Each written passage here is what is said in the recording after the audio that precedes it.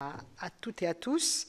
Donc, euh, nous poursuivons nos travaux avec une table ronde qui est consacrée aux matériaux biosourcés pour l'isolation. Donc, nous recevons ainsi les représentants de trois organismes ou quatre? Trois. D'accord. Trois organismes. L'Association des industriels de la construction biosourcée est représentée par son président, M. Olivier Jorot. Votre association représente les industries françaises produisant des matériaux à destination du marché de la construction à partir de ressources renouvelables. Elle mène plusieurs actions comme la rédaction de règles professionnelles de mise en œuvre des isolants fibres végétales et la mise en place d'études sur les produits de construction biosourcés. L'association Construire en chambre, représenté par M.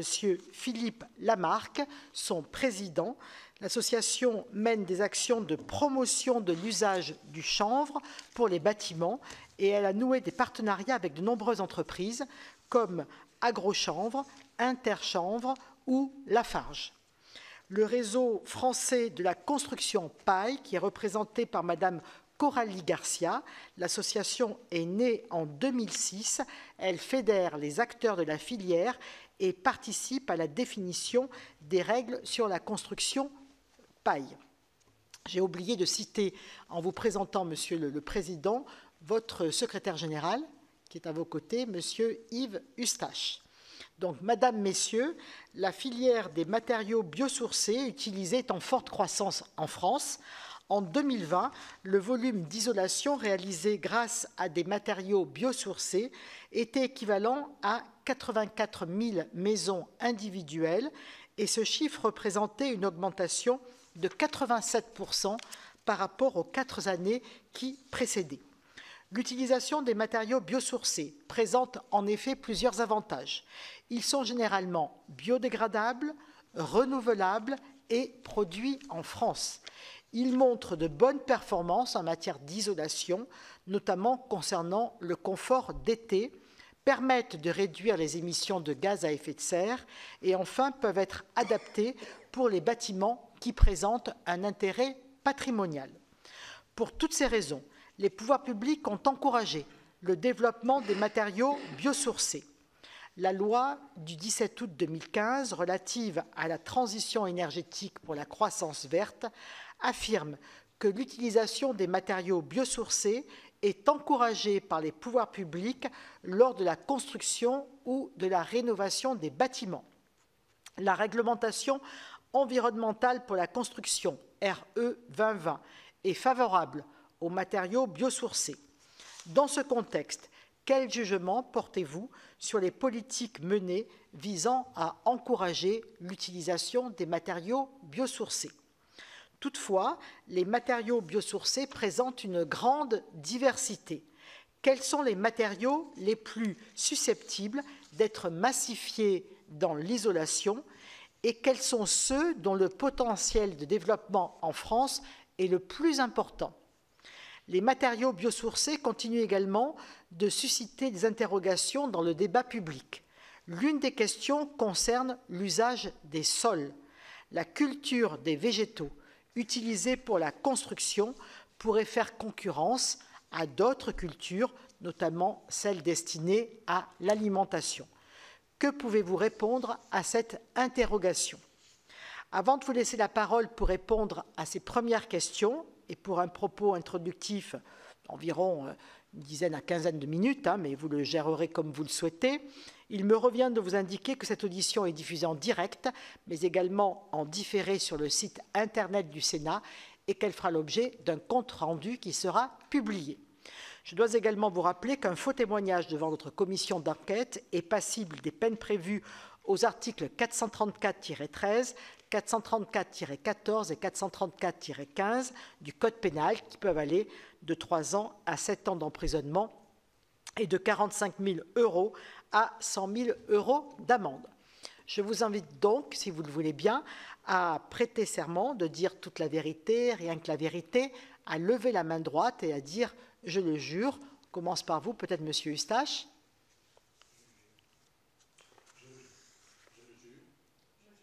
Voilà, je vous remercie. Donc, je vais vous laisser la parole et ensuite notre rapporteur, mais aussi euh, les membres de notre commission d'enquête qui assistent également à cette audition et que je remercie pour leur présence, seront à même également de vous poser un certain nombre de questions. Alors, je ne sais pas comment vous voulez vous répartir. Peut-être, Monsieur Jorot, vous commencez?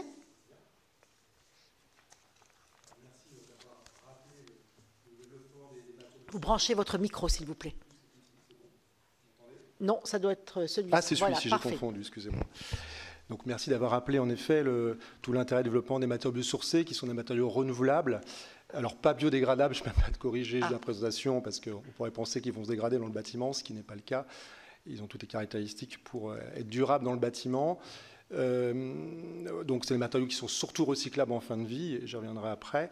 Donc une, filière qui s'est fortement développée ces dernières années autour de matériaux euh, renouvelables, hein, puisqu'on a la chance en France finalement euh, de pouvoir utiliser des coproduits issus de la forêt ou issus euh, de l'agriculture. On en parlera tout à l'heure sur la question sur l'enjeu potentiel par rapport à l'alimentation. donc des matériaux qui finalement peuvent être renouvelables à l'infini, hein, et ce sont des matériaux qui ont un gros, intérêt par rapport au risque d'épuisement des ressources fossiles en général. Hein, il y, en a, mais on sait qu'à un moment donné, ils auront leurs limites. Donc, euh, autant utiliser des matériaux lorsqu'ils sont euh, renouvelables. Euh, ce sont des matériaux qui sont les coproduits utilisés pour la fabrication de matériaux. Sur tout le territoire, on a des matériaux disponibles, hein, ce qu'on appelle des, matières, des coproduits issus de l'agriculture ou de la forêt. et puis, bah, le gros avantage, c'est des matériaux aujourd'hui qui ne sont pas importés. Hein. Ce sont des matériaux qui sont fabriqués sur notre territoire. Je pense que par rapport à l'enjeu de la souveraineté, on en parle souvent, euh, et dans le bâtiment, il convient d'être vigilant. On a encore aujourd'hui beaucoup de matériaux qui sont importés, hein, issus de la chimie notamment. Euh, donc voilà tout l'enjeu de nos matériaux. C'est aussi des matériaux, et par rapport à l'enjeu énergétique, parce qu'on se pose souvent la question, évidemment, de la baisse de consommation énergétique dans le bâtiment, mais il y a l'enjeu euh, de la consommation énergétique pour fabriquer ces matériaux. On a l'avantage avec les matériaux issus des connexes, on va dire, que ce soit végétaux ou en tout cas de l'agriculture, on a des matériaux qui consomment peu d'énergie pour être fabriqués. Donc ça, c'est aussi un atout. Hein. N'est pas sur des, industries qui, émettent énormément d'énergie pour les fabriquer. Hein. Je prends des matériaux comme les nôtres, par exemple, base de chanvre. Ce sont des fours à 140 degrés, pas des fours à 1000 degrés. Donc on a un enjeu énergétique. Et d'ailleurs, les F2S qu'on peut, on peut avoir aujourd'hui dans le bâtiment, vous avez fait la F2S, la fiche de déclaration environnementale sanitaire qui a permis de construire la RE 2020. Euh, traduisent très bien aujourd'hui tout l'intérêt de matériaux par rapport au stockage carbone qu'amènent ces matériaux, hein, puisque ces matériaux d'origine végétale sont des matériaux par la photosynthèse qui sont des puits de carbone. ils ont un impact en fin de vie, hein, évidemment, euh, mais la fin de vie, c'est dans 40 ans, 50 ans. Au moment où ils vont être utilisés, selon qu'ils soient recyclés ou non, ils pourront avoir un impact en rejet de carbone, mais bon, c'est une échéance à 40 ans. À l'effet immédiat, c'est quand même un stockage carbone. Euh, donc il y a trois enjeux majeurs pour la filière de matériaux biosourcés. Euh, dans le cadre de la rénovation énergétique, hein, qui est le sujet sur lequel on est auditionné aujourd'hui, euh, c'est l'enjeu de la rénovation globale. Aujourd'hui, nous, le bilan qu'on fait, c'est qu'il y a une rénovation qui se fait avant tout souvent sur des thématiques précises. Donc on va changer une chaudière, on va changer des menuiseries. et malheureusement, bah, quand lorsqu'on veut rénover une maison, c'est l'enveloppe du bâtiment qu'il faut traiter et pas seulement le changement d'une chaudière, même si c'est utile. Hein, mais nous, ce qu'on voit dans le bilan de la prime rénov, c'est qu'une grosse partie est utilisée sur quelques travaux. Et on sait que la rénovation énergétique, c'est un peu plus compliqué. Et donc là, on, a voulu aussi vous faire des propositions à l'occasion de cette audition. Euh, donc nous, il semble important de, conditionner les aides qui demain pourraient être mises en place euh, par l'État à une maîtrise d'œuvre experte dans le cadre de la rénovation thermique du bâtiment. Hein. Comme on le fait aujourd'hui dans la RE 2020, il y a des obligations hein, d'être accompagné par des architectes au-delà d'une certaine surface, en tout cas par une maîtrise d'œuvre.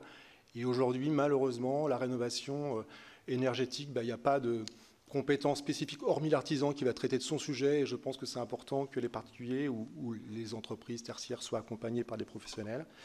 Euh, donc favoriser la rénovation globale. Après, ce qui nous semble également important, euh, dans le cadre de la loi climat résilience, l'article 39, on parlait tout à l'heure de la loi transition énergétique, mais il y a la loi climat résilience qui prévoit l'obligation, dans le cadre de la commande publique pour la rénovation énergétique, d'utiliser au moins 25% de matériaux biosourcés. Aujourd'hui, il n'y a pas de décret euh, qui a été mis en place, qui a été il n'y a pas de décret d'application pour cet article et, on souhaite en tout cas que ces 25% de matières sourcées dans l'animation de la commande publique puissent être mis en place progressivement avec un calendrier de façon à l'anticiper. Donc on propose, nous, un calendrier progressif d'ici 2028, hein, de façon à, laisser du temps. Et on sait que sur la commande publique, là, lorsqu'on parle de maîtrise d'œuvre, on est sur des chantiers plus importants. C'est un moyen aussi de mettre en place des professionnels qui pourront demain être utilisés également par euh, des chantiers, sur des chantiers moins importants, notamment les particuliers.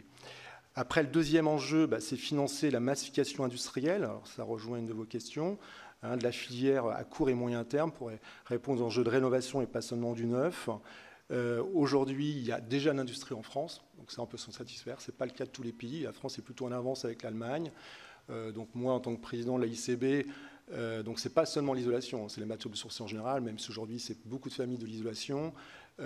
nous sommes industriels, on va doubler nos capacités dans les cinq ans qui viennent pour répondre à ces enjeux. On pourrait aller plus vite, et vous savez, euh, c'est à la fois la massification de l'industrie, mais c'est aussi toute l'innovation à faire dans ces industries. Et plus on a les moyens, plus on peut avoir des procédés innovants. On est sur des produits techniques. Et là, aujourd'hui, le constat, c'est qu'on a peu d'accompagnement sur la massification industrielle. Aujourd'hui, on accompagne beaucoup la décarbonation des industries en place, ce qui est une très bonne chose aussi. Hein. Je trouve qu'il faut accompagner cette industrie euh, traditionnelle à, décarboner leur, leur, industrie. Mais nous, aujourd'hui, on a l'avantage d'avoir des produits qui stockent du carbone et on a très peu d'aide lorsqu'on dépose des projets pour massifier notre industrie avec des usines de taille plus importante. Et c'est un regret parce que ce sont beaucoup de PME qui sont derrière, même si maintenant des grands groupes s'intéressent à ces sociétés. Donc c'est une de nos demandes. Et puis euh, on souhaiterait euh, également, euh, pour nous aider à nous développer, on a la REP qui s'est mise en place, hein, donc la responsabilité élargie aux producteurs depuis 1er, 1er mai 2023. nous sommes concernés par cette REP. Alors je ne dis pas qu'on ne doit pas être concerné, mais aujourd'hui, payer une REP, alors que nos matériaux ne sont pas amenés à être déconstruits, ils vont être déconstruits dans 20, 30, 40 ans, puisque les premiers ont été posés il y a une vingtaine d'années, on trouve que ce n'est pas très juste par rapport à l'intérêt général que présentent nos matériaux par le stockage du carbone. Et on paie une filière alors qu'aujourd'hui, euh, voilà, on n'est pas concerné et ce serait un moyen de nous accompagner pour développer plus rapidement notre filière, puisque évidemment, bah, ça génère des surcoûts euh, supplémentaires.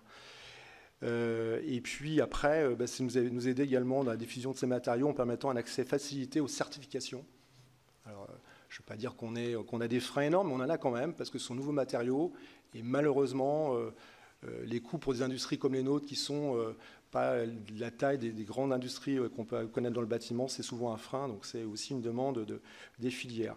Après, le troisième enjeu, je finirai par là, c'est favoriser l'utilisation, la visibilité des solutions biosourcées dans le cadre d'une nécessaire sobriété énergétique. Euh, donc il y a les C2E qui existent depuis maintenant plusieurs années. On voit qu'il y a eu des effets beaucoup d'opportunisme sur les C2E, hein, puisqu'aujourd'hui, euh, il y a des quotas de C2E qui ne sont pas, on va dire, stables dans la durée, au niveau notamment des CUMAC. Donc il y a des effets d'opportunité selon les acteurs avec une forte demande parfois sur l'isolation. Je pense notamment c'est fait sur les combes ou les chaudières. On s'aperçoit comment on est, il y a un coup d'arrêt euh, dès que les CUMAC sont des niveaux inférieurs. Donc ça amène parfois une éco-délinquance, hein, on en a parfois entendu parler. Donc nous, on souhaite que cet effet soit corrigé avec une annualisation des quotas de C2E. Hein, pour éviter euh, cet effet qui est catastrophique généralement pour les industries, quelles qu'elles soient. Hein. je ne parle pas seulement pour les matières sourcées. Euh, et y compris pour les artisans, parce que derrière, il y a des artisans qui se forment, et malheureusement, quand le marché s'arrête, bah, ce sont des artisans qui se retrouvent sans travail alors qu'ils se sont formés pour euh, ces applications de rénovation énergétique. Et puis, euh, on a une demande également sur ma prime Rénov C2E. On souhaiterait une bonification pour les matériaux biosourcés afin d'impulser le stockage carbone dans l'acte de rénovation.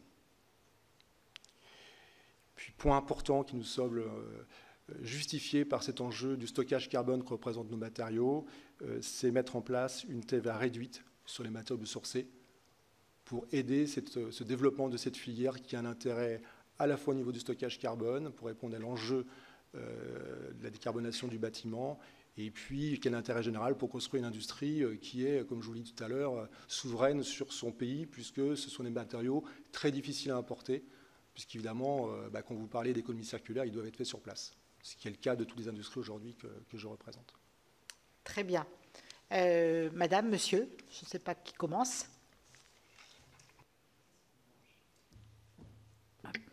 Bonjour, Coralie Garcia, donc je travaille pour le réseau français de la construction en paille. Donc nous, on a un, modèle un petit peu différent quand même de, l'association des gens qui font partie de l'association des industriels de la construction biosourcée, parce qu'on est parti du matériau botte de paille, donc du matériau qui vient directement du champ. Donc c'est vrai que... Vous pouvez parler juste un peu plus fort ou devant plus le micro, merci. donc nous, on a commencé à travailler avec le matériau botte de paille, donc qui vient euh, historiquement directement du champ. Donc c'est vrai qu'on évite de passer par une industrie, on évite ces transports, on évite aussi de euh, repasser dans une machine, etc., et de rajouter des intrants. Donc c'est un matériau assez brut. Euh, à l'époque, ce sont surtout des maisons individuelles qui ont été construites.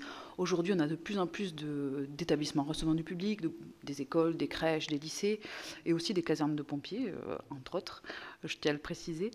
Donc, euh, donc c'est vrai qu'on a un modèle assez différent. On est une association, on regroupe des professionnels, entre autres, aussi des adhérents en particulier, des organismes de formation. Mais on a environ 500 entreprises qui sont adhérentes à notre association. Et euh, notre particularité est de faire la promotion d'un matériau de construction qu'on transforme en matériaux agricoles et qu'on fait devenir matériaux de construction grâce à notre savoir-faire. Et euh, l'idée là-dedans, c'est vraiment d'utiliser ce matériau qui est vraiment très abondant. De la paille ou des champs de blé, vous en avez vu, vous en voyez euh, dès que vous prenez euh, la, route.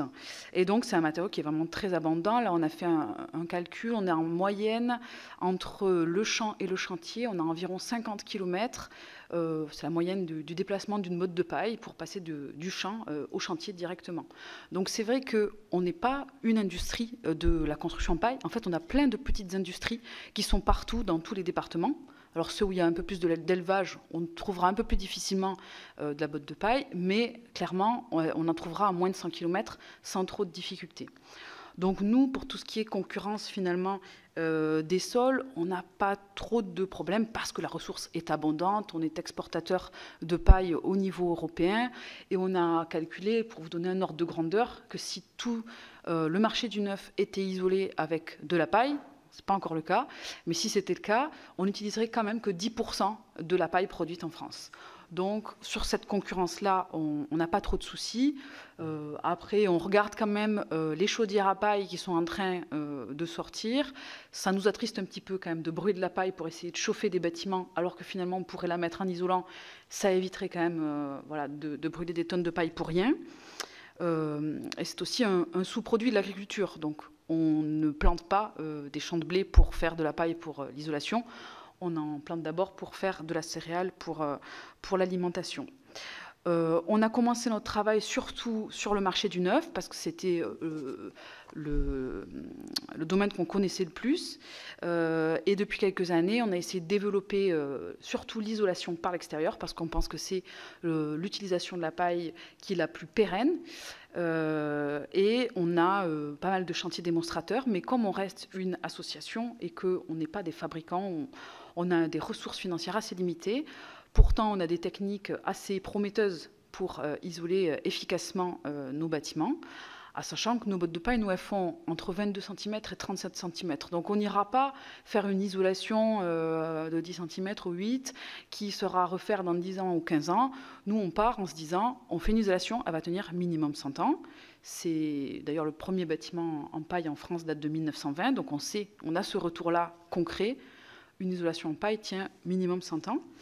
Euh, et donc, on, part comme ça en se disant, on veut de la qualité et une isolation forte dès le début pour éviter de refaire des travaux dans 20 ans. Et, euh, c'est comme ça qu'on fonde nos techniques constructives. Après, il nous manque quand même euh, des aides pour développer ces techniques parce que forcément, ça demande et du travail d'écriture de documents techniques et de la recherche et de la formation. Euh, et aussi sur cette problématique de formation, on a de plus en plus de mal à faire reconnaître les formations qu'on écrit au niveau de France Compétences. Donc euh, voilà, on a, écrit plusieurs euh, formations, même avec d'autres filières biosourcées, et c'est toujours compliqué d'arriver à avoir une réponse. Il y a beaucoup de de temps de, de, retard, etc. Et ben du coup nous qui voilà, on attend, on attend que ce soit validé, on attend de pouvoir développer tout ça, en sachant que on a développé une formation il y a une douzaine d'années, et il y a plus de 5000 professionnels qui l'ont suivi, dont 40% d'architectes. Donc ça veut dire à peu près 2000 architectes qui ont suivi cette formation, une formation pro-paille, formation de 5 jours. Et, euh, et c'est pour ça que ça se développe beaucoup d'ailleurs dans, sur la, commande publique. Donc on a vraiment un besoin d'avancer là-dessus. Et on a aussi une particularité, c'est que comme on est un isolant qui n'est pas un, isolant certifié, qui ne passe pas dans une usine, souvent les, aides sont conditionnées à avoir un isolant euh, certifié ACERMI. Et malheureusement, ça, c'est écrit un peu partout. Et les gens qui gèrent les dossiers euh, ne se réfèrent qu'à ça. Et quand les gens veulent faire une isolation par l'extérieur en paille, ils se, dès le début, ils, se bloquent ils sont bloqués par ça et ils ont du mal à avoir des aides. Donc c'est un frein supplémentaire et ils ont du mal à, y aller. Alors que souvent, ce sont des gens qui font quand même des rénovations globales. Euh, lourdes, avec changement des fenêtres, isolation de la toiture, etc., et qui tendent vers du passif. Hein. Nous, on, en tout cas, on, va vers ça, on, les encourageait vers là. Donc c'est vraiment quelque chose qu'on aimerait euh, qui se développe euh, et surtout de la qualité, de la qualité dans l'isolation pour que à faire des travaux, on ne les fasse pas pour euh, les refaire dans 20 ans. Quoi. Ça ne sert à rien. Allons-y fortement.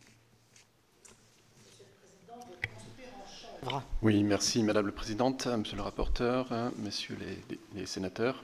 Euh, une petite focale donc sur le chanvre, évidemment, qui est complémentaire de ce qu'on vient d'entendre sur la paille et sur euh, les industriels de, l'isolation, euh, et pour répondre d'emblée sur la problématique de cet effet d'aubaine. Si effectivement tous les marchés s'ouvrent au biosourcé, est-ce qu'on est en capacité, nous, filières, de suivre? 22 000 hectares de chanvre cultivés aujourd'hui, 180 000 hectares en France à la fin du 19e siècle. Donc la, capacité de progression est énorme. Euh, qui plus est, cette plante n'est pas une plante concurrente de la filière euh, alimentaire, c'est ce qu'on appelle une tête d'assolement. Donc euh, après le chanvre, il y a du blé. Et quand on plante du chanvre, même un agriculteur qui est en conventionnel ne met pas de phyto dans le champ. Il n'y a pas de phytosanitaire dans le champ, il n'y a pas de, traitement d'intrants dans le champ euh, quand on plante du chanvre. Donc on réduit les impacts intrants dans les champs quand on plante du chanvre. Ça, c'est le premier aspect. Euh, construire en chambre, et la filière chambre, de manière globale, euh, est une filière simple à comprendre et c'est une filière dite intégrée. Construire en chambre travaille main dans la main avec Interchambre, qui est l'amont de la filière, qui s'occupe de tous les marchés sauf la construction. Construire en chambre est évidemment spécifique à la construction. Elle a développé depuis une trentaine d'années donc des règles professionnelles qui permettent d'accéder à tous les chantiers. Ces règles professionnelles sont reconduites cette année, tout domaine d'emploi confondu, il n'y a pas de limitation de hauteur. Et elle a développé un label granula. C'est le seul label granula végétal disponible aujourd'hui en France. Cette spécificité-là, elle est reconnue à l'international. Nous accompagnons la structuration de filières au Québec, nous accompagnons la structuration de filières en Afrique australe et au Maroc. Pourquoi? Parce que ces filières-là n'ont pas développé ce savoir-faire sur la construction qui est spécifique à la France. Donc autant euh, utiliser ce savoir-faire franco-français avec des matériaux locaux, des matériaux effectivement en circuit court. Nous aussi, nous avons quelques propositions qui sont complémentaires de ce que vient de dire Olivier euh, sur, d'une part, l'adaptation de l'arsenal réglementaire. Aujourd'hui, toute la rénovation énergétique est câblée sur le lambda, c'est-à-dire la, réglementation euh, qui, fixe euh, l'évacuation de la chaleur euh, de l'intérieur du bâtiment vers l'extérieur du bâtiment, eh bien, il serait possible de pondérer ce seul facteur, lambda, par quelques critères assez simples, comme accepter des facteurs de résistance thermique plus bas pour les matériaux à pondération supérieure, à perméabilité supérieure ou à inertie de chaleur d'été plus importante. C'est le cas de ces matériaux biosourcés qui offrent effectivement, notamment, euh, de l'inertie à la chaleur d'été importante. Voilà. Donc ça, c'est une, indication, c'est une proposition. Et puis, c'est intégré dans la refonte en cours des labels bâtiments biosourcés un chapitre rénovation qui bonifierait euh, les, cibles, euh, les, aides allouées. Deuxième orientation, c'est sur le, domaine des dispositifs incitatifs. Euh, comme l'a dit Olivier, effectivement, il faut sortir de la rénovation énergétique monogeste pour aller plutôt vers une logique euh, de, rénovation environnementale. Euh, donc vous avez effectivement un, dispositif qui s'appelle Prime Rénov Sérénité, qui permet de globaliser l'acte de rénovation, mais elle est très peu mobilisée. C'est 60 000 dossiers seulement, selon l'ANA. Qui est jugé trop complexe à mettre en place et surtout d'un montage administratif et financier kafkaïen. Donc comment peut-on aborder effectivement une, rénovation environnementale simple pour accompagner les ménages? Ça passe par le fait d'inclure les honoraires d'accompagnement des accompagnateurs dans les aides allouées. à la rénovation, de manière à ne pas laisser effectivement les particuliers seuls à se démener avec, euh, avec ces enjeux-là. Et puis une troisième, un troisième axe, c'est accompagner sur la durée ce qu'on appelle la boîte à outils. Et là, nous sollicitons euh, d'encourager l'effort de la formation à la transition écologique à tous les niveaux, formation initiale, formation continue, et pour tous les acteurs, les entreprises qui sont peu, voire pas du tout formées aux, matériaux biosourcés, les, entreprises RGE, les auditeurs énergétiques, les futurs accompagnateurs prime rénov, mais également les maîtres d'ouvrage professionnels, et pourquoi pas les corps préfectoraux et les élus. Voilà les enjeux, selon nous, de euh, cette rénovation énergétique appliquée aux matériaux biosourcés. Monsieur, le secrétaire général, est-ce que vous voulez euh, compléter? Oui, merci Madame la Présidente. Alors pour compléter, euh, pour revenir un petit peu aux enjeux de la, rénovation, on le voit, enfin ça a été dit, les solutions biosourcées, en fait, elles sont très diverses aujourd'hui la France est un peu spécifique par rapport à ça, puisqu'on a vraiment des solutions entre la paille, les bétons biosourcés, les isolants, des solutions assez, assez, assez différentes, et donc euh, qui permettent de répondre vraiment à l'enjeu de la rénovation, qui, on le sait, est important.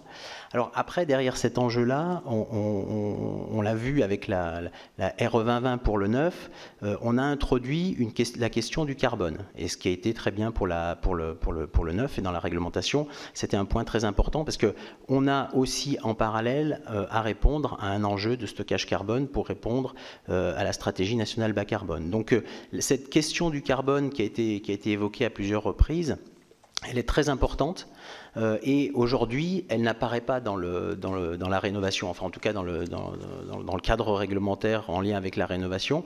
Euh, la question du carbone n'apparaît pas. Donc ça veut dire qu'à un moment donné, il va falloir euh, aussi l'introduire dans la rénovation, cette question du carbone. Et comment l'introduire dans la rénovation Il y a plusieurs façons de faire, mais il faut orienter les politiques publiques vers l'utilisation, vers, vers une utilisation accrue des biosourcés. On l'a vu, les industriels aujourd'hui sont, prêts, hein, les capacités sont, sont, doublées là actuellement hein, pour répondre. Vous avez évoqué 27 millions de mètres carrés en 2020. Euh, la capacité de la production va passer à peu près à 60 millions de mètres carrés dans les années à venir. Donc euh, il y a une réponse qui est aujourd'hui euh, aujourd'hui prête. Mais euh, maintenant, la rénovation énergétique, il va falloir orienter, si on veut, orienter spécifiquement vers les vers des matériaux biosourcés. Donc ça passe par des, C2E bonifiés, par exemple, on l'a évoqué. ça passe par un, label bâtiment biosourcé rénovation, puisque on l'a dans le neuf. Ça a permis aux maîtres d'ouvrage de s'approprier la question la question du biosourcé et de fixer des objectifs à l'ensemble des acteurs maîtrise d'œuvre, entreprise. Donc, euh, euh, ça serait effectivement très utile que ce type de, ce type de label soit, soit mis en place aussi pour la, pour la rénovation. Et là, il y a des choses qui sont, qui sont euh, quasiment prêtes. Hein. Il, y a des, il, y a déjà des, il y a déjà eu des réflexions sur le, sur le sujet. Donc le label, euh, la TVA réduite, ça a été aussi évoqué. Donc euh, tout ce qui à un moment donné va euh, faciliter l'intégration du biosourcé, c'est en fait faciliter l'intégration de la question du carbone dans la rénovation. Très bien. Monsieur le rapporteur. Merci, merci Madame la Présidente. Merci pour déjà vos explications. non, moi j'avais peut-être plusieurs Plusieurs questions d'abord sur le.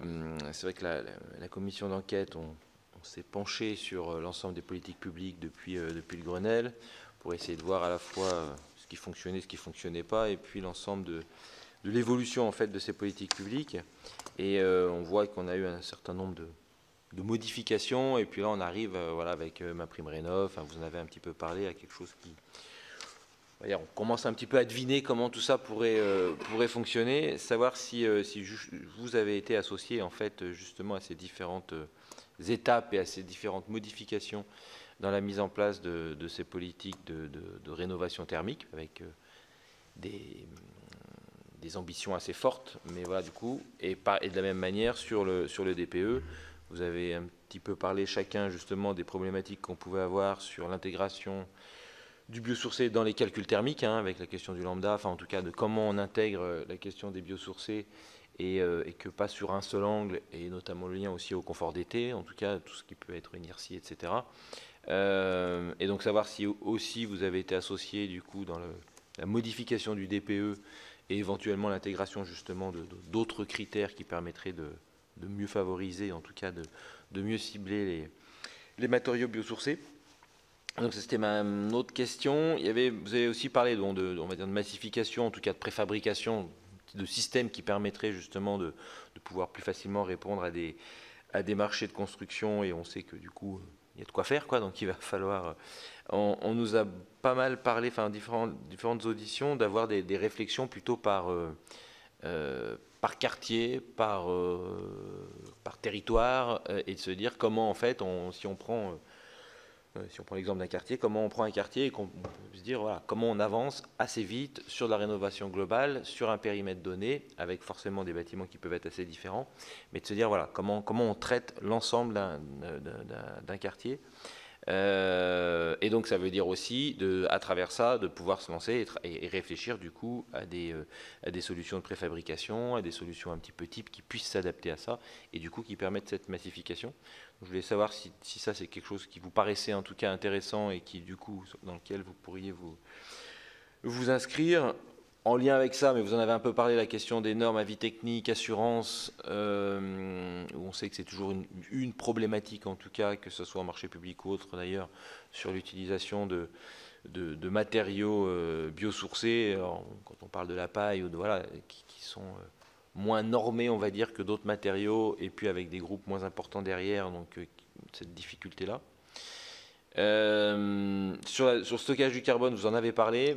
C'était peut-être sur le, comment en fait, euh, parce qu'on a souvent parlé un peu de la rémunération justement de ce stockage de carbone, quoi, puisque c'est vrai que avec le biosourcé, ça permet du coup de pouvoir stocker le carbone pendant. Voilà, on sait que maintenant le carbone a une valeur, et donc comment vous imaginez en fait le retour de cette valeur que ce soit auprès des, entreprises ou que ce soit auprès des, agriculteurs, et de voir quel, cheminement, en fait, quel, mécanisme on pourrait mettre en, mettre en place.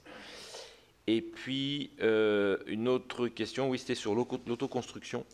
Euh, on s'aperçoit quand même, enfin, on a eu aussi pas mal, dans d'autres auditions, on nous a parlé de... Non, je crois qu'il n'y a pas On nous a parlé de, de, de, l'autoconstruction, et c'est vrai qu'on voit qu'en en autoconstruction, naturellement, on va dire, on utilise beaucoup plus des matériaux à la fois locaux et matériaux bio, biosourcés. Donc c'est vrai que c'est directement aussi adapté, que ce soit pas et chambre, etc. Euh, et donc voilà, du coup, est-ce que euh, vous avez aussi des idées sur l'encadrement, en tout cas, de ces chantiers d'autoconstruction? Parce que ce qu'on s'aperçoit aussi, c'est qu'actuellement, avec le, le fonctionnement d'aide tel qu'il est fait, euh, quelqu'un qui va autoconstruire, qui va acheter chez Matériaux, en fait, il passe à côté de l'ensemble des, aides et voilà. Et donc, du coup, il est plutôt, euh, plutôt pénalisé. Et puis, pour terminer, peut-être la place de l'accompagnateur Rénov. Euh, en fait, comment, pareil, vous l'imaginez, puisque c'est vrai que ça peut être intéressant justement sur l'accompagnement, sur l'accompagnement sur euh, sur une rénovation globale, euh, mais donc ça veut dire aussi formation, etc., pour aussi orienter sur des matériaux biosourcés. Donc en fait, comment, comment vous l'imaginez, vous, vous le voyez, ou vous l'intégrez dans la, dans, la, dans la chaîne euh, Voilà, c'est déjà pas mal. Merci. Première question, donc c'était sur est-ce qu'on a été associé aux réflexions sur la rénovation en général et tout ce qui est DPE, euh, évolution. Euh, déjà, on vous remercie tout coup de nous auditionner. Ça permet justement de parler de, ces enjeux. Concrètement, non, on est, peu associés. Hein, même pour cette raison qu'on a créé des associations de façon à être représentés au niveau national. Hein. c'est une industrie qui a, qui a 15 ans. Euh, construit en chance à peu près à la même période. Hein, et donc, on s'est dit comment se, rassembler de façon à porter bah, des projets communs, notamment sur la réglementation et comment faire évoluer la réglementation. Donc la RT 2012, ben, on, est arrivé, on l'a subi, elle a été décidée longtemps avant. Et la RE 2020, en tout cas, on a pu participer, donc c'est une bonne chose. Mais sur la rénovation, on voit que c'est un grand chantier. Alors quand je dis on n'est pas associé, on est associé dans certaines réflexions. Mais en tout cas, on, souhaite demain euh, bah, que des associations comme les nôtres qui sont vraiment dans le biosourcé soient systématiquement pris en compte. Parce qu'évidemment, on n'est pas aussi représentatif, même si aujourd'hui on fait 10% l'isolation en général par rapport aux gros acteurs qui leur structure, etc., on a moins de poids, euh, moins d'actions possibles hein, par rapport évidemment à, nos capacités aussi de, disponibilité. Donc c'est un des enjeux parce que je pense que là-dessus on a évidemment des idées à apporter. Voilà pour la réponse à la, première question. Euh, rémunération du stockage carbone, je peux en parler moi parce que je travaille dans une coopérative agricole, donc euh, on produit du champ, pour certains acteurs, notamment Philippe sur ses projets. Bah, c'est vrai que c'est un, des enjeux parce qu'aujourd'hui, rien ne permet de rémunérer ce carbone qu'on stocke, qui est important. Hein, sur le champ, on dit c'est l'équivalent de 15 tonnes de CO2 à l'hectare. C'est l'équivalent de la forêt. Et c'est renouvelable chaque année. Donc j'en profite aussi pour vous dire, et Philippe l'a dit, aucunement en tout cas sans concurrence avec l'alimentation, hein, puisque le chanvre, on peut produire du chènevis, le récolter pour l'alimentaire, et c'est un coproduit la paille. En plus, c'est une excellente tête de rotation, donc ça a été dit. Donc il y a souvent des détracteurs par rapport à ça, mais c'est un faux débat. Et demain, il n'y a pas que le champ, l'agriculture a d'autres potentiels, euh, la paille en fait partie. Hein. Donc ça, évidemment, c'est pas une question. Mais en tout cas, sur le carbone, c'est vrai que c'est un des enjeux, comment les rémunérer? Euh, c'est parfois des productions pour les agriculteurs qui sont moins intéressantes à court terme que de faire un blé euh, ou qui a un cours mondial qui est connu. Euh, donc ils le font parce qu'il y a un intérêt pour leur production agricole, pour la rotation des sols, l'enjeu des phytosanitaires, etc. Par contre, le carbone n'est pas rémunéré aujourd'hui, hein, puisqu'il y a le label bas carbone en agriculture, mais c'est sur l'amélioration du stockage carbone, du bilan carbone d'exploitation, et, on ne valorise pas ce carbone qui est stocké dans le bâtiment. Et c'est dommage parce qu'aujourd'hui, il n'y a aucun texte qui permet de le faire, donc ça pourrait être un carbone volontaire, un stockage carbone, enfin une valorisation avec des, pas des obligés, mais du coup des acteurs qui volontairement voudraient payer ce carbone stocké, mais aujourd'hui, euh, à défaut de, de texte, c'est difficile à mettre en œuvre, et je pense que c'est un des enjeux. Si demain il y avait des solutions réglementaires pour le faire, ça serait évidemment une bonne chose. Je te laisse la parole pour la suite. Oui. Euh, merci Olivier. Donc petite nuance sur euh, effectivement est-ce qu'on est associé euh, à tout ce qui se passe au niveau réglementaire? Oui et non. Le, texte le réglementaire se fait avec nous, sans nous ou contre nous. Effectivement, on est souvent pris dans les, les fourches de cette réglementation qui s'applique. Pour autant, on a été consulté et on a participé aux travaux du CNR Logement et on a participé effectivement à l'audition de Guy Asquette qui a remis son rapport qui n'est pas encore publié, mais qui a été remis euh, euh, au ministre du Logement, euh, qui fait, je pense, la part belle effectivement aux matériaux biosourcés. ensuite, sur la massification des solutions industrielles de type ISE, c'est-à-dire isolation par l'extérieur. toute la filière s'organise pour. Hein, donc, je représente un fabricant de, solutions béton de chanvre préfabriquées, et la filière a déposé un France 2030 spécifique sur les ITE. Nous sommes auditionnés au mois de mai prochain par l'ADEME sur cet enjeu-là. C'est un, gros dossier hein, à hauteur d'un million d'euros pour la filière, c'est beaucoup, euh, qui va permettre effectivement euh, d'aller vers la massification de ces solutions. Puisque comme, euh, pour la paille, l'essentiel de ce qui nous régente, les règles professionnelles, ont été écrites sur le neuf et pas du tout sur la rénovation énergétique. Donc on a ce, cap à passer ensemble.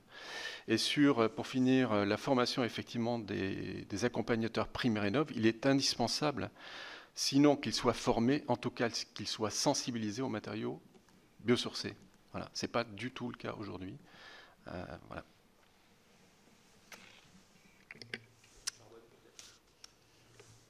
Sur le stockage carbone, eh bien, oui, il faudrait que ce stockage carbone, s'il est valorisé, il revienne à l'agriculteur et non pas à l'opérateur en, bout de course, et notamment le promoteur immobilier. Euh, voilà, c'est un enjeu considérable pour stabiliser effectivement cette production chambre. Euh, moi, je reviens juste sur euh, les normes dans la construction en paille. Pour information, donc on a déposé nous des règles professionnelles qui ont été validées en 2012 donc ça fait maintenant plus de 10 ans. Euh, c'est ça qui a permis quand même que, que, ça se développe au niveau, au niveau français. Euh, mais même, euh, et, on va jusqu'à du R plus D dans ces règles professionnelles, mais on voit que les gens ont envie d'aller plus loin. On a aussi aujourd'hui des bâtiments qui vont jusqu'à du R plus 9, isolés en paille. Et en ITE, on a aussi de nombreux exemples, notamment des HLM. On a plusieurs bailleurs sociaux qui ont envie vraiment d'aller vers ça, notamment par rapport à la préfabrication. On a plus de la moitié des gens qui construisent en paille aujourd'hui qui font de la préfabrication, donc des caissons avec de, la paille dedans, la paille sous différentes formes d'ailleurs. Hein. Avant, on se cantonnait à la botte de paille. Aujourd'hui, euh, la paille hachée se développe. Donc, c'est en gros ça la même chose que les bottes de paille, mais on enlève les ficelles et, euh, il y a la même densité. Et puis, euh, on a aussi les bottes à façon, donc des bottes avec des dimensions particulières, donc on peut commander chez des, gens qui fabriquent ces bottes exprès. Donc, on voit que le marché se développe et que et qu'aujourd'hui il y a une forte demande. Donc, on a plusieurs euh, exemples à, Paris de, HLM euh, isolés euh, en ITE, en paille. À Grenoble aussi, on a un projet en R 7 et R 9 avec l'OPAC 38, qui, anciennement appelé OPAC 38, qui, a envie de développer ça.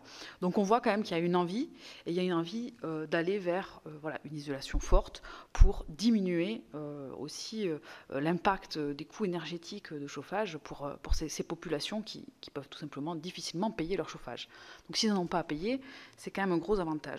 On a vu dans, les retours euh, des bâtiments HLM euh, qui étaient isolés, euh, bien isolés, alors que soit en paille ou, autre chose, c'est que souvent on avait beaucoup moins de rotation. les locataires partaient moins de chez eux parce que justement ils avaient une rénovation. Et finalement euh, ça permettait de faire des grosses économies pour les bailleurs sociaux. Et, euh, même quand les charges étaient euh, encore plus réduites eh ben, finalement ça revenait plus cher de leur envoyer leur facture que de faire charge gratuite pour tous les locataires. Donc on voit qu'aller loin et fort c'est quand même assez important on parlait d'isoler euh, par quartier.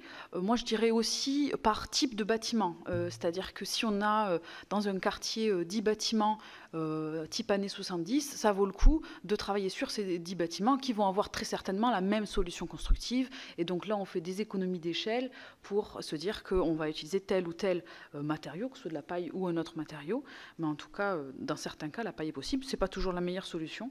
Mais en tout cas, je pense que ça peut être intéressant de réfléchir comme ça euh, également. Euh, pour ce qui est de l'autoconstruction, donc nous on a une bonne euh, connaissance de, ça parce que bah, la construction en paille a démarré avec des autoconstructeurs. c'est important d'intégrer ces gens-là qui ont envie de faire des travaux de rénovation chez eux, parce qu'ils sont nombreux, parce que notamment quand on est à la campagne, on sait bricoler. Euh, par contre, parfois, on ne connaît pas tous les euh, impacts qu'on peut faire. Et notamment, il y a des problématiques de diffusion de vapeur d'eau, etc., qui pourraient nuire au bâtiment. Donc je pense que l'autoconstruction est à valoriser, mais aussi à accompagner avec des professionnels compétents. Euh, et c'est intéressant de se dire que peut-être sur euh, un type de travaux, si on veut faire une isolation par l'extérieur, on laisse faire toute la partie, euh, j'en sais rien, jusqu'à la lame d'air par un professionnel et le bardage peut être peut-être posé par un, autoconstructeur. On n'est pas obligé de faire tout noir ou tout blanc, mais en tout cas, c'est important d'orienter les, gens vers oui, c'est possible, peut-être pas partout ou peut-être accompagné ce que je voulais aussi rappeler, c'est qu'on a quand même un, rôle assez intéressant au niveau des biosourcés, au niveau européen, et même, euh, plus loin. Euh, on est quand même très avancé par rapport aux autres pays. En France, on a plus de bâtiments en paille que tous les autres pays européens réunis. Donc, euh, on a eu un projet européen là, qui vient de se terminer qui s'appelle Upstro, avec 6 ou 7 pays. On était leader de ce programme-là. Et on, est vraiment regardé par les autres pays et on est aussi pris en exemple. Par exemple, nos règles professionnelles qu'on a, qu'on a, écrit a sorties en 2012, elles ont été traduites déjà en espagnol, euh, en anglais, en italien. Donc on voit qu'on peut aussi euh, donner une impulsion pour les autres pays pour montrer que c'est possible. Et du chanvre, de la paille, euh, du bois, il y en a dans tous les pays. et donc c'est vraiment quelque chose à, à, faire diffuser et, à montrer à plus grande échelle également. Voilà. Eustache, vous voulez rajouter quelque chose? Juste deux petits mots par rapport au, cadre réglementaire. Euh, effectivement, euh, pour, la, pour, la, pour, le neuf, on avait été euh, sollicité, donc on a participé et on a pu défendre cette question du carbone. pour la rénovation, si toutefois une, une, réglementation se mettait en place, évidemment, ce serait important que les filières biosourcées puissent participer. Mais au-delà du cadre réglementaire, il y a tout le cadre normatif qu'on a évoqué le cadre des avis techniques. Alors, euh, on est, on est favorable évidemment à rentrer dans ce cadre-là parce que c'est euh, ce qui garantit la qualité des, euh, des, bâtiments et des ouvrages. Donc, il faut rentrer dans ce cadre-là. toutefois, ce, qu'on constate, c'est qu'on a aujourd'hui un peu une surenchère sur les exigences qui sont, qui sont demandées, et notamment aux, biosourcés dans les dossiers d'instruction, que ce soit les dossiers d'avis techniques et autres. Donc, qu'on a du mal à expliquer et donc qui est parfois difficile à lever. Donc ça c'est euh, ça c'est un point important. Donc c'est pas du cadre réglementaire, mais c'est le cadre normatif qui peut freiner aussi le, développement de la, de la filière. Et puis juste sur le dernier point, sur la place de l'accompagnateur Rénov, enfin, c'est euh, très important effectivement qu'il y ait cet accompagnement-là. Euh, nous, on est plutôt favorable à ce qu'il y ait euh, un maître d'œuvre hein, qui, qui, qui, suive ces, ces travaux-là, donc avec la, compétence. Alors la compétence évidemment sur le biosourcé, mais lorsqu'on est en rénovation, il n'y a pas que le biosourcé puisqu'on part d'un bâtiment existant, donc il y a la connaissance de l'existant. Donc c'est quelqu'un qui, qui a la compétence biosourcée, mais qui va, c'est une compétence qui va bien au-delà, euh, qui est la compétence du bâtiment et de, et de la rénovation, qui est une compétence très, très particulière.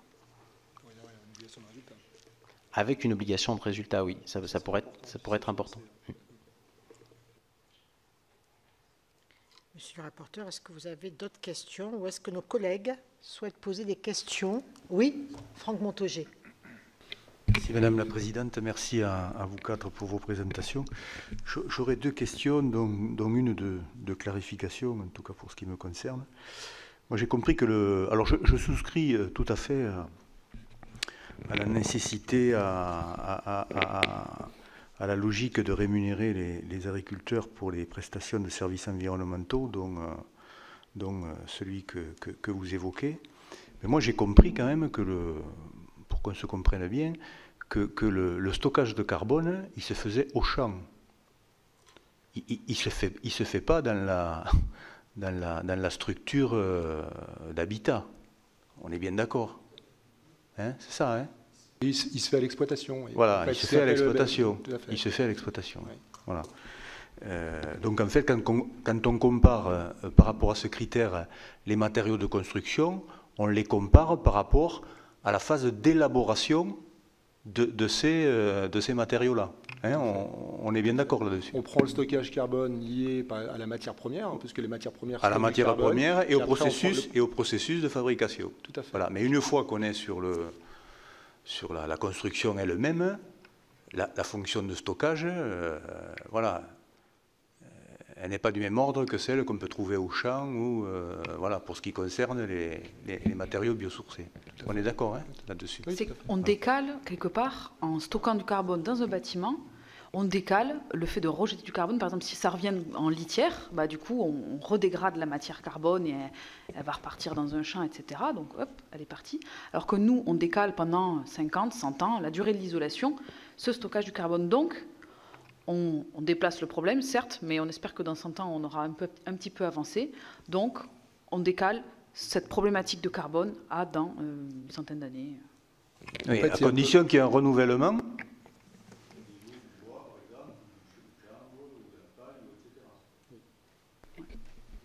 C'est le cas, c'est le cas. Euh, pour la filière paille, mais pour la filière chambre, on a fait des tests avec le CSTB. Nos matériaux sont entièrement recyclables. Donc on a séquestré ce carbone qui est au champ, certes, on l'a séquestré pendant la durée de vie du bâtiment, et notre ACV, il est de 100 ans, il n'est pas de 50 ans. Donc on a une durée de vie exceptionnelle, et en bout de cycle, on peut recycler l'intégralité de nos produits, l'intégralité. Mmh. Sauf que la petite nuance, c'est qu'aujourd'hui, la fin dans la F2S dont vous parle sur le produit, le process, on prend en compte également la fin de vie des matériaux. Donc aujourd'hui, on est pénalisé alors qu'on a l'avantage, puisqu'on considère qu'à la fin de vie, il va décarboner, puisqu'on ne mhm. connaît pas sa fin de vie aujourd'hui, même si nous on sait que demain on pourra le recycler. Mhm. Peut-être que dans 60 ans, l'enjeu de la planète sera plus le carbone, sera peut-être autre sujet, on aura peut-être euh, moins d'émissions, mais aujourd'hui en tout cas on est pénalisé puisqu'on considère que le carbone qu'on a stocké, il va être déstocké en fin de vie, ce mhm. qui n'est pas très juste dans l'analyse. Et malheureusement, du coup, on valorise à aucun moment ce, stockage carbone, ce qui est pourtant une réalité. Oui, oui, je, suis d'accord avec vous sur la nécessité de le, valoriser. Hein. Il a, pas mais voilà, je, voulais euh, me faire préciser, les choses. Je, vous remercie de vos réponses. deuxième petite question. Vous, avez évoqué la, je crois que c'est vous, Madame, la, problématique de la certification euh, des produits c'est vous, hein, je crois. Hein, voilà. Donc moi, moi j'aurais une, question, euh, je dirais, complémentaire ou subsidiaire par rapport à cette thématique de la certification. C'est la question de l'acceptation euh, de ces matériaux par les assurances. Oui. Que vous, qui n'a pas été évoqué. Est-ce que est-ce que est-ce que c'est peut-être pas un sujet? Si c'est pas si c'est pas un sujet, tant mieux. Mais est-ce que est-ce qu'éventuellement ça n'est un quoi? Alors, les règles professionnelles qu'on a écrites il y a 10 ans ont permis, elles permettent justement euh, d'avoir accès à une assurance décennale pour les entreprises. Ça a été ce qui a permis de lever vraiment euh, ce qui coinçait à l'époque. Donc ça, ça, a aidé. Par contre, comme on vous l'a dit, c'est surtout sur le neuf aujourd'hui qu'on les a écrites. Donc c'est vrai que sur l'isolation par l'extérieur et la rénovation, il faudrait continuer ce travail. Moi, c'est mon travail actuellement. Hein. Je suis en train de développer ça. Mais c'est vrai qu'on a peu de moyens. On a un peu des aides de l'ADEME. Mais, mais c'est quand même un gros travail. Donc il faut qu'on avance encore euh, à travers des règles pro, à travers des, avis techniques. Enfin, il y a différentes façons euh, d'avancer vers ça pour euh, lever ces blocages-là. mais c'est en bonne voie. Après, je pense qu'il faut quand même continuer à, nous soutenir pour qu'on développe davantage de solutions pertinentes. D'accord. Oui, Donc ça reste quand même un petit sujet, quoi. Oui, oui, quand même. Oui, ça reste toujours effectivement un, sujet parce qu'il y, a effectivement des produits nouveaux qui se développent. Donc, euh, il faut les faire rentrer dans le cadre normatif pour qu'ils deviennent des techniques courantes et pour qu'ils soient considérés comme des, par les assureurs comme des techniques courantes et donc bénéficiant de décennales, etc. etc. Donc, euh, il y, a toujours du travail à faire euh, dès lors où en plus on innove avec ces, avec ces matériaux-là. Par contre, ce qu'on peut dire. Vous ne le considérez pas comme un frein quand même aujourd'hui La situation. Alors, aujourd'hui, on peut euh, euh, construire un bâtiment dans un cadre sécurisé, mmh. reconnu par les assurances, avec les produits qui existent. Euh, on l'a dit, il y a des mmh. règles professionnelles, il y a des avis techniques. Donc aujourd'hui, des, solutions existent pour construire et pour rénover avec les, produits biosourcés dans un cadre sécurisé. Par contre, comme derrière les biosourcés, il y a aussi de l'innovation, ben, il faut toujours effectivement travailler sur ces sujets pour les nouveaux produits qui vont se développer. Il y a notamment les, des bâtiments R plus 3, plus 4, où parfois il y a des contraintes de feu. Hein. Et là, il y a des solutions, sauf que c'est des gros travaux à mener pour passer ces étapes de test qui permettent la certification. Et c'est là, pour des filières qui sont des filières jeunes, bah, c'est des coûts euh, qui sont euh, énormes. D'accord. D'où l'intérêt de soutenir ces filières pour euh, qu'elles puissent investir, parce que s'il n'y a pas de marché, c'est difficile d'investir sur des coûts qui sont souvent difficiles à supporter. J'avais une, troisième et dernière question, alors qui est un peu en marge du sujet de la commission d'enquête puisque la question porte sur la construction neuve, mais euh, du point de vue euh, de la rentabilité et du modèle économique de vos, filières. Euh, on peut construire avec de la terre crue, en y mélangeant éventuellement de la paille, etc. Est-ce que, d'abord, est-ce que, ce que je dis correspond à une réalité? Il me semble que oui. Et est-ce que euh, la problématique de la construction neuve avec euh, utilisant donc des matériaux biosourcés euh, peut avoir des conséquences, je dirais positives, favorables sur l'ensemble de vos activités, rénovation énergétique d'un côté et construction neuve de l'autre, à partir de, de, matériaux, encore une fois, biosourcés. Vous voyez le sens de mon, de mon propos? Oui, je vais commencer une réponse et puis Olivier, euh, tu, poursuivras. Euh, grâce à la loi résilience 2025, grâce à l'ARE 2020, nous avons ouvert une usine que connaît euh, le sénateur Gontard, qui s'appelle Wallup, qui est la première usine au monde à faire de la préfabrication béton de chambre. Voilà, c'est parce que le marché s'ouvrait que nous avons pu effectivement industrialiser le territoire. Donc c'est en Ile-de-France, c'est avec un circuit court. reste la, question, effectivement, de la rentabilité initiale pour l'agriculteur. Aujourd'hui, le cours du chanvre est trop bas par rapport à l'inflation du cours euh, du blé euh, et d'autres euh, produits. Et donc, la rémunération en amont pour l'agriculteur n'est pas suffisante pour qu'il y ait une explosion, effectivement, de, mise en culture sur le marché. Il manque l'enjeu du stockage carbone. Voilà. Et donc, la solution, on revient à cette question, hein, c'est l'enjeu du stockage carbone et de la rémunération de ce stockage carbone au champ.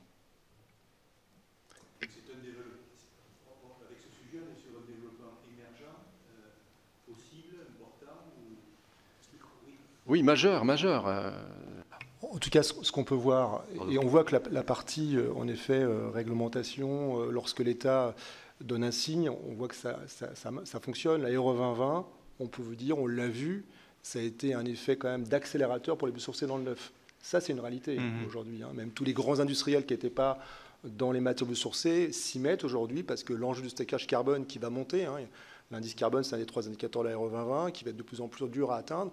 Forcément, ça transforme les industries, donc c'est plutôt chose de positif. Donc c'est vrai que sur la rénovation, euh, Yves l'a signalé, c'est un des enjeux majeurs. Il ne faudrait pas que la rénovation, qui est quand même l'un des enjeux majeurs demain, parce qu'on sait que de toute façon, le foncier, il va en manquer. Donc, c'est la rénovation, il y a beaucoup à faire.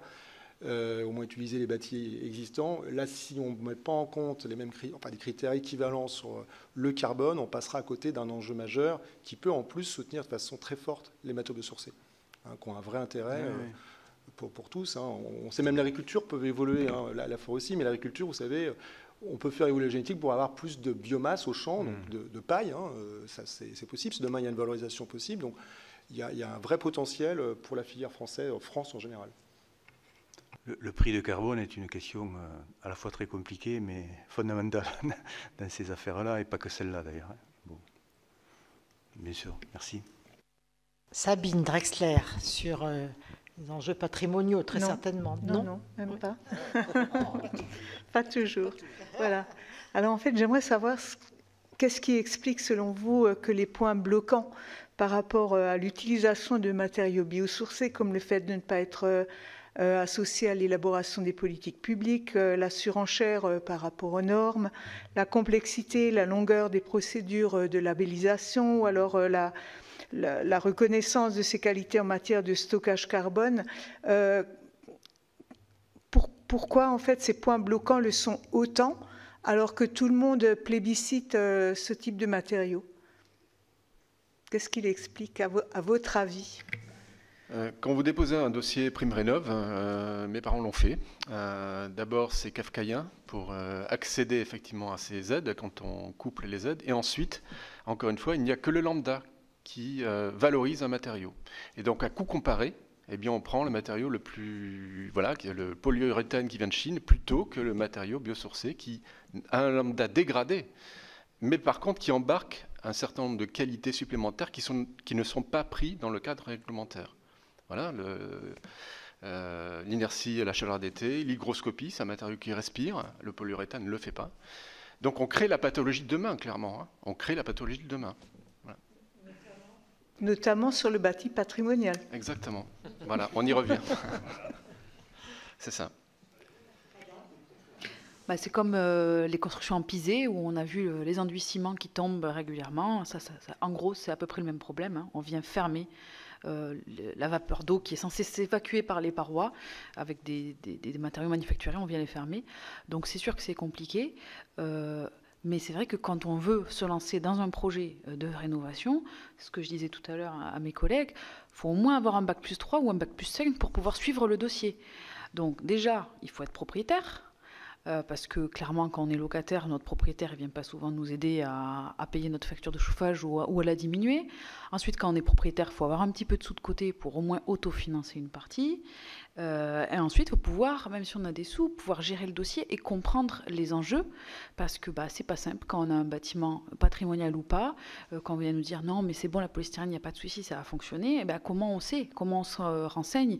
Tout, Alors, on a, il y a quand même des, agences qui sont là pour, pour aider, mais tout le monde n'est pas formé à tout ça. Et puis, clairement, bah, le, voilà, le coût, euh, il y a un moment, c'est souvent moins cher parce que ça va plus vite et parce que, clairement, dans 20 ans, il faudra l'enlever. Donc, donc voilà, les gens vont, vite euh, là où ils peuvent, s'ils le peuvent. Si je me permets d'intervenir en plus, il y a le sujet de la compétitivité qu'on n'a pas abordé, qui est un sujet. Hein. c'est vrai que quelqu'un qui construit ou qui rénove, il se pose la question du coût des matériaux. Euh, alors, il y a quelques années, l'écart entre les matériaux sourcés et les matériaux traditionnels était euh, assez élevé. Hein. Enfin, en tout cas, il y avait un écart, souvent, on disait 25-30%. Ça s'est fortement réduit parce qu'on a industrialisé même si on pas, pas du niveau de massification de l'industrie traditionnelle, qui est encore à un autre niveau, et forcément ça juste sur les coûts, hein, les prix de revient.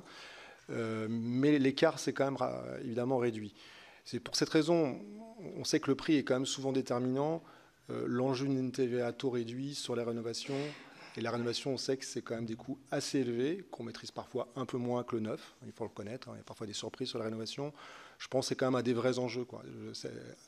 Pense que ça justifie d'une TVA réduite qui permettrait de gommer le petit écart qu'on peut avoir, la formation des artisans, hein, parce que les formations des artisans, vous savez, ce sont les industriels actuels, qui sont des PME, qui sont amenés euh, à, les former. Donc euh, tout ça, il bah, faut le financer, et je pense que ce serait un bon moyen d'accélérer et de répondre à l'enjeu dont vous parlez.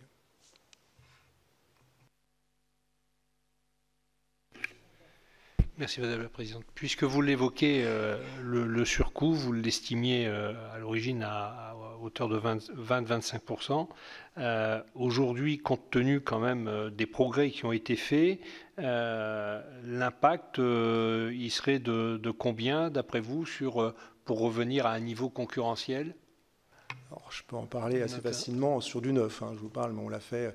Le, groupe a, fait un bâtiment biosourcé de 370 m2 en tertiaire. Globalement, on a eu un écart de 70 000 euros sur un marché qui était à 1 million d'euros sur la période traditionnelle. Vous voyez, on était à 7% on a pu le faire aussi parce qu'on a été accompagné par un architecte spécialisé en biosourcé. Donc la solution, dire, le bâti a été construit par rapport aux caractéristiques qu'on avait. Là, c'était sur du béton de chambre préfabriqué. Euh, et, donc voilà, on a pu le maîtriser. Et c'est pour ça que la conception et dans la rénovation, c'est pas facile dès le début de tout concevoir. Mais je pense que ça se situe aujourd'hui entre 7 et 10 concrètement. Sur le neuf, c'est ce qu'on voit aujourd'hui. On peut même dire par rapport aux enjeux d'énergie, on a connu là un coût énergétique de production très fort. Certaines industries étaient très gourmandes en énergie, ont augmenté bien plus fortement leur prix que nous, nous l'avons fait sur nos matériaux, parce qu'on est peu gourmand en énergie. Et ça, ça a permis de réduire aussi les coûts. Alors c'est peut-être conjoncturel, puisque l'énergie rebaisse aujourd'hui, mais bon, dans la durée, on peut se projeter. Euh, l'enjeu, c'est évidemment des coûts de production plus faibles. Mais voilà, je pense qu'aujourd'hui, c'est entre, euh, allez, on va dire entre 5 et 12% on a, a l'exemple sur 7 sur du neuf. Bon, je pense que la vérité, elle à 10 sans doute. Euh, c'est le, retour qu'on a sur beaucoup de matériaux. Ça dépend si certains matériaux sont vraiment une phase industrielle très importante. Si on parle des isolants, par exemple, la famille d'isolants, c'est le surcoût qu'on a aujourd'hui à peu près par rapport à des matériaux euh, dits traditionnels. Après, sur les matériaux plus béton, végétaux, l'écart peut être plus important parce que c'est moins industrialisé même si euh, l'entreprise euh, dont parlait Philippe bah, a commencé à pré-industrialiser et, la préfabrication industrielle, c'est évidemment l'avenir.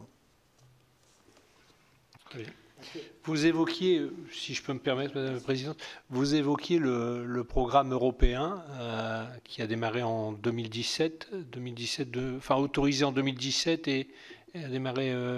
Alors le programme européen, c'est un, projet à plusieurs pays. Projet à plusieurs pays. Ça date de 2016 peut-être, 2015, je ne sais plus trop. Hmm. Après, c'était c'était plus pour tirer vers le haut les autres pays euh, et, avancer ensemble parce qu'on on est quand même pas, on part pas avec les mêmes bases.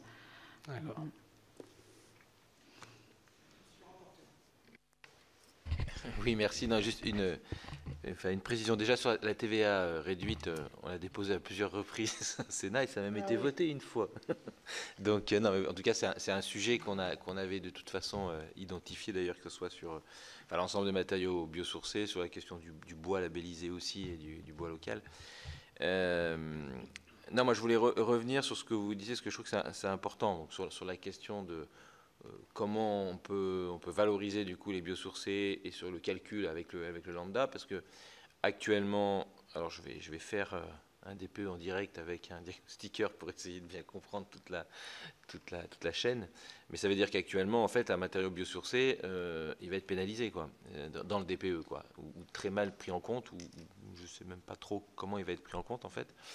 Euh, c'est quand même un vrai problème, quoi, parce que ça veut dire que même des gens qui font le choix d'un matériau biosourcé, derrière, risquent d'être pénalisés, en fait, dans, leur, dans le calcul final, quoi, en fait, et dans l'augmentation de leur, performance liée au DPE de, leur, de, leur, bâtiment. Donc je pense que ça, c'est un, élément important. Et, donc, comment vous voyez en fait l'intégration? Parce qu'on voit bien que le lambda classique, il ne fonctionne pas. Et j'avais été, je crois que c'était une, étude, je sais plus, je crois que c'était le CSTB qui avait fait ça sur le, qui avait fait des petites boîtes euh, euh, acier, béton, euh, paille, voilà, et où on s'aperçoit qu'en fait la, sensation, en tout cas de confort, elle est très différente en fonction des matériaux euh, et que on va mettre le chauffage à 25 degrés quand on est dans une boîte à métal et qu'on va le mettre à 17-18 degrés quand on est dans une boîte en paille ou dans une boîte en chambre. Euh, donc cet aspect-là de, confort, il est hyper important parce que les 3-4 degrés qu'on peut gagner euh, en termes d'économie d'énergie derrière, ils sont, ils sont énormes. Comment du coup on peut arriver à l'intégrer pour faire en sorte que cet aspect-là soit pris en compte?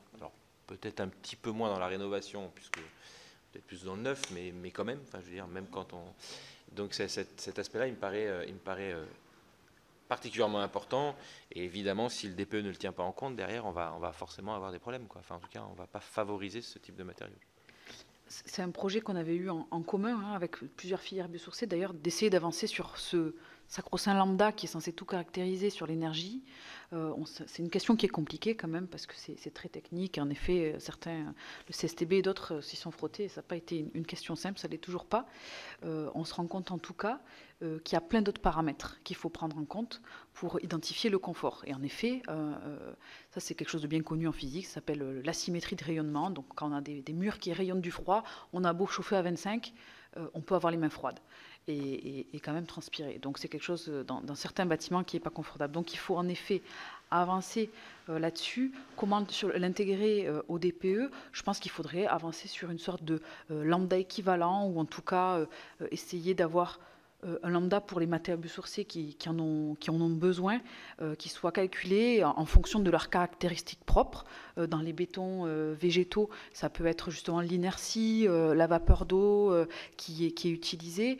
dans la paille, c'est ou dans même la fibre de bois, ça peut être la densité du matériau, parce qu'on voit que les lambdas, en réalité, euh, sur le papier sont censés être très bons, mais dans la réalité, quand ils sont posés par les artisans, on prend un rouleau euh, de laine euh, X ou Y, légère en tout cas, on le pose, et si c'est trop léger, la problématique c'est que si on a une mauvaise étanchéité à l'air, euh, ce qui se fait encore, et hein, euh, eh ben, le pouvoir isolant est vraiment très dégradé. Et sur des matériaux qui sont plus denses, comme ils sont plus denses, on a quand même un pouvoir isolant qui est meilleur. Donc ça, ça n'a rien à voir avec le lambda, avec le pouvoir du matériau, mais finalement la propriété du matériau à se tenir, à, bloquer euh, les fuites d'air parasites, etc. Donc tout ça, comment le prendre en compte? On a essayé de travailler dessus, mais on n'a encore eu assez de budget pour pouvoir euh, analyser ça. On voulait faire justement des petites boîtes pour pouvoir comparer et essayer d'avoir euh, un lambda déclaré. On a travaillé avec le CEREMA dessus, avec des labos, avec le, FCBA là-dessus. Il faudrait continuer à, travailler là-dessus et à pouvoir l'intégrer, je pense, dans le DPE avec un, un lambda équivalent, je ne sais pas quel terme on pourrait trouver. Oui, si je peux compléter. Effectivement, c'est un sujet euh, scientifique qui est complexe. Euh, donc, on a un projet en cours sur le sujet, donc euh, avec le FCBA et le LERMAB, pour essayer de caractériser un peu mieux les choses. Mais on se rend compte que, bah, que comme c'est complexe, bah, il faut aller plus loin. C'est-à-dire que le, projet en lui-même ne, suffit pas. Donc, il y, a deux aspects hein, derrière le, lambda, c'est le confort d'hiver, mais on a aussi le confort d'été. Et, et cette caractéristique-là, on la prend pas quasiment pas du tout en compte aujourd'hui.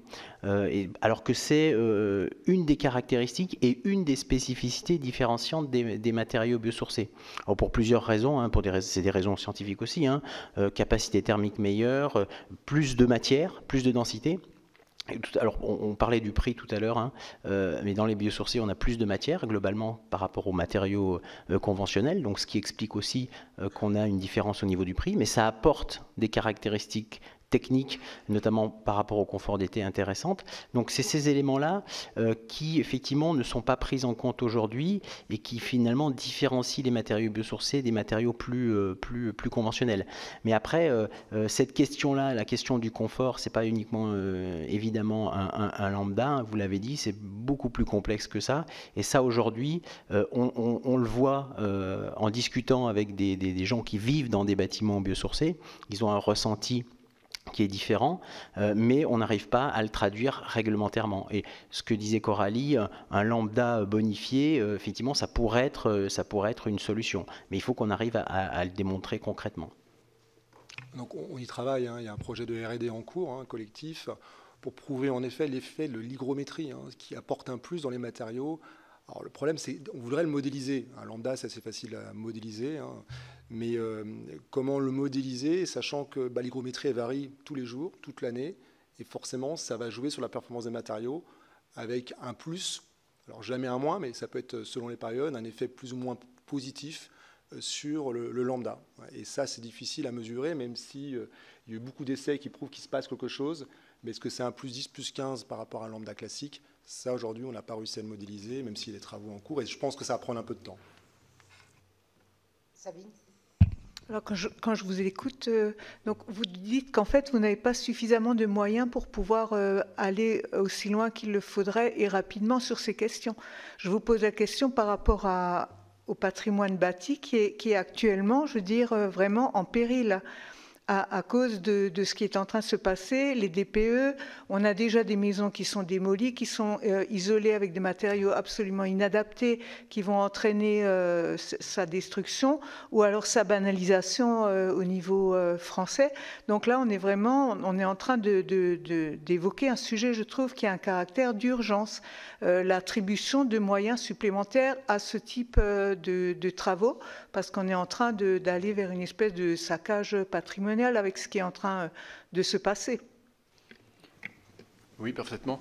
Nous avons besoin de ces moyens supplémentaires, mais pour autant, il y a des systèmes simples à mettre en place. Vous avez déjà la prime euh, Rénov Sérénité qui autorise depuis 2021 à déroger au dictat du lambda. Si tant est que les matériaux euh, ou la composition globale du, bâtiment permettent de répondre à, beaucoup d'enjeux. Euh, eh bien ça, c'est ce que, nous attendons. C'est-à-dire qu'on mette en place une maîtrise d'œuvre qui accompagne effectivement les opérateurs de tout acabit dans la rénovation. Pas une rénovation monogeste, mais dans une rénovation qui soit euh, avec une garantie de résultat. C'est aussi un manque de moyens, on va quand même se le dire, parce que les sujets de R&D dont vous parlez, c'est des sujets complexes. Euh, industriellement, nous, on peut faire, on fait beaucoup de choses, mais euh, ces sujets euh, sur plusieurs années dans des chambres d'essai qui, vraiment sont trop chères pour euh, quels que soient les industriels. Donc c'est le rôle bah, du CSTB, de ces acteurs, mais qui doivent aussi leur limites en termes financiers. Donc comment accompagner justement toute cette, cette modélisation dont on parle hein, et je crois qu'il y a les vrais enjeux d'accompagnement R&D, même s'il y a déjà un, accompagnement qui se fait, hein, on, a, on, a, un sujet en cours, mais ça reste des petites enveloppes. Et c'est une première étape et on sait qu'il y en aura d'autres derrière. Et si on pouvait être accompagné, ce serait évidemment euh, un plus. En, gros, on sait qu'en pratique, ça fonctionne sur des, du bâti ancien, des bétons végétaux, chaux-chanvre, terre-chanvre, etc. Ça fonctionne. Isolé en, paille par l'extérieur du pisé, ça fonctionne. Ça ne dégradera pas le bâti, mais on n'arrive pas à le prouver. On n'arrive pas à, enfin, pour l'instant, en tout cas, on n'a pas assez de moyens pour arriver à, montrer que, euh, que ça fonctionne. Parce que c'est compliqué, le bâtiment, on a de la vapeur, on a, des habitants qui ouvrent les fenêtres et on ne sait pas comment. Alors, comment simuler tout ça? C'est voilà, et de l'humain et de la physique et plein de choses qu'on ne comprend pas hein, aussi, il euh, faut quand même l'avouer. Mais on sait, que, ça fonctionne. En pratique, euh, ça fait 100 ans, 200 ans que les bâtiments sont isolés comme ça, et même plus des millénaires pour le torchis, etc. Le torchis, c'est de la paille, c'est de la terre. La chaux, on sait que ça fonctionne, mais maintenant, on doit tout prouver. Donc, euh, il faut qu'on y arrive. Euh, enfin, ce serait un objectif. Ça ne veut pas dire qu'on qu'on réussira pas demain, mais aujourd'hui, les matériaux sont caractérisés en usine. Hein. Les lambdas, c'est mesuré en usine, mais l'usine, un matériau que vous caractérisez en usine, c'est pas ce qui se passe forcément dans le bâtiment. Et c'est la complexité d'un bâtiment en une enveloppe qu'il faut réussir à modéliser, si je reprends ce terme. Euh, et c'est pour ça qu'on souhaiterait qu'il y ait des tests in situ pour prouver sur plusieurs années. Hein, quand on dit test in situ, c'est prendre plusieurs maisons avec des constructions euh, et des matériaux différents pour voir quelle influence ont nos matériaux sur l'amélioration du confort ressenti par les usagers aujourd'hui qui vivent dans ces, dans ces maisons. Et c'est ça qu'il faut réussir à développer, mais c'est des coûts euh, évidemment euh, énormes. Aujourd'hui, dans les laboratoires, quand on vient faire des tests pour nos matériaux, on, doit faire des, matériaux grands comme ça ou grands comme ça, enfin une botte de paille. comment recréer ce qui se passe dans une botte de paille? Dans le sujet, mais c'est un peu la même chose pour eux, dans des petits échantillons comme ça, alors qu'on fait des bâtiments qui font des milliers de mètres carrés. Donc c'est cette complexité qu'on a du mal à... Alors qu'on a des milliers de bâtiments, qu'on a, nous-mêmes mis des, capteurs dedans, etc. Et, et...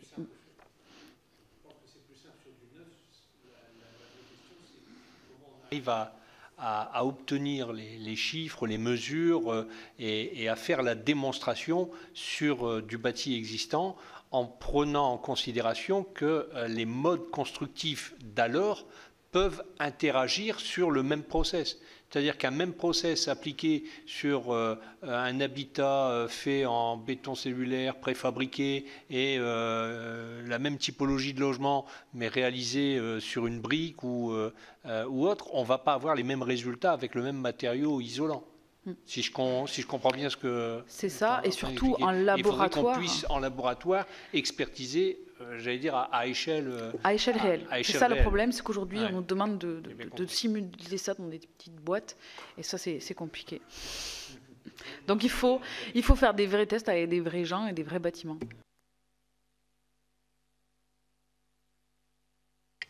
Non, du coup, c'est juste savoir si vous étiez en lien avec les, les grands ateliers de l'île d'Abo. Sur le, donc du coup c'est un, on est allé, c'est en Isère, on est allé le, visiter et qui est en fait, je crois que c'est, unique en France, mais c'est de, regrouper à la fois architectes, entreprises, artisans, euh, et travailler justement sur, euh, sur des, des matériaux biosourcés de tout type. Hein. Alors au départ, c'était axé, axé sur toute la question de la terre, mais ils ont fait aussi pas mal d'essais euh, avec la paille, avec, avec le chanvre, etc. et donc assez intéressant parce que ça permet de mettre aussi sur, sur la formation et sur le lien entre artisans, recherche, architectes, et puis d'essayer aussi de trouver normaliser un petit peu des, procédés. Donc euh, voilà, en tout cas, je pense que si vous n'avez pas le lien, ça serait intéressant. On les connaît bien. Oui, j'imagine pour la Ce qui nous manque, c'est pas euh, l'État nous accompagne, hein, que ce soit la DHUP, l'ADEME. Ce qui nous manque, c'est euh, un accompagnement pluriannuel. Voilà, un contrat d'objectifs sur plusieurs années où on dit voilà où on va. là, c'est du coup par coup. C'est tous les ans, il faut déposer un dossier. Tous les ans, il faut se re-questionner. Euh, on passe plus de temps à l'administratif qu'à euh, développer effectivement des techniques ou des essais.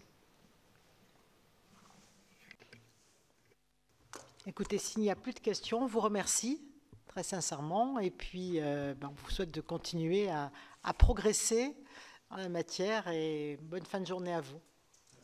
Merci.